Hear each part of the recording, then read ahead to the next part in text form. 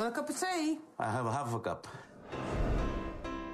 Go with you, teacher, and stay in the school, or I'm bloody fixing you.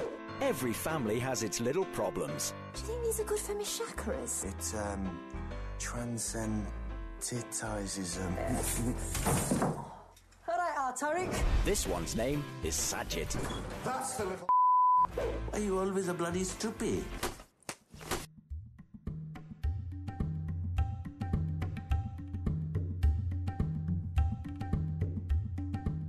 The first film is a fragmenting of this family. I, this film picks it up five years on with the, the last child remaining. Uh, George's last chance to get it right as a father. And it deals with sort of cultural identity and families and dysfunctional families. And so it takes the child to Pakistan, showing where he's from. It's not really about what side you're on, it's about who you are inside. It's a sort of coming of age movie for Sajid. And uh, he's the only son left at home and is getting into trouble. He's under racist attack at school and um, it's having an effect on him. And he's kicking off and stealing and what have you.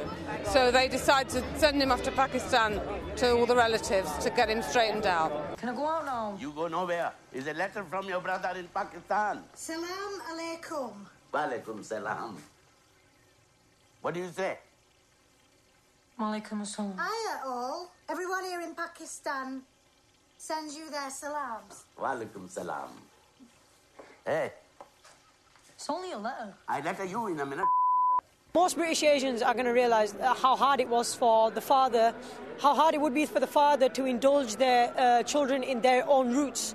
Whereas they've got their own things to think about in England, whereas they're born and raised there. They're, they're not Pakistani as far as they're concerned.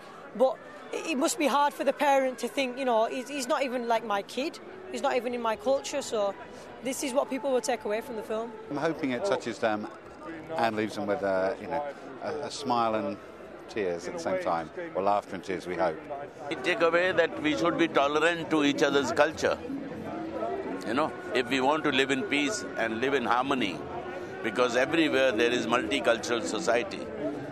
So it's time that we recognize each other's culture, at least broadly.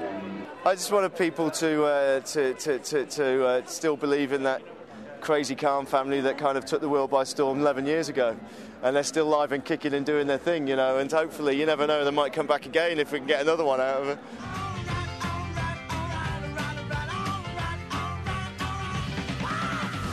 West is West.